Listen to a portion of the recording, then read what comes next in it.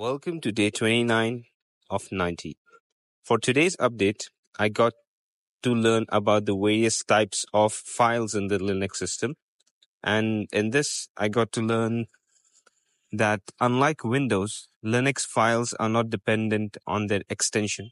In order to know the various types of files in Linux, there are a few ways we can do it, details of which I will add in the description below. Along with that, I got to learn that all the configuration files are stored as text files as Linux. And if we have a GUI installed in our Linux, we can view them in a text editor.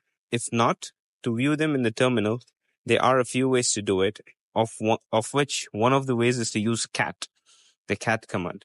So I also got to look into that. More information will be added in the description of uh, what I learned. Thank you for watching. Please follow for more.